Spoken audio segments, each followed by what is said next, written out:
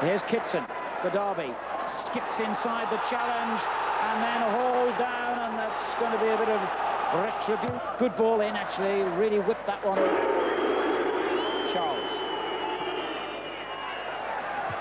Ooh, Webb with a very iffy sort of header there. Crossley came to his rescue. Danger not gone yet. And it's a goal.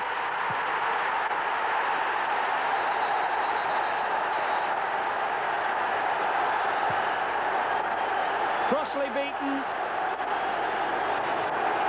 And Forsyth has broken the deadlock here.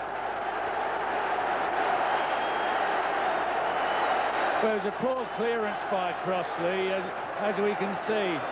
Really, uh, it should have been a bad header by Webby, but Crossley should have come out and did better than that. And actually, if you watch carefully, Forsyth does Stuart Pearce there, which is a very big surprise and a goal. See, it's not a good clearance. It's palmed out.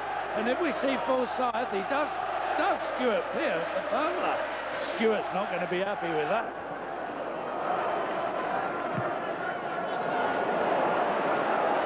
Rosario, that's a good little header onto Woan. And Woan engineers the shooting opportunity and delivers the shot.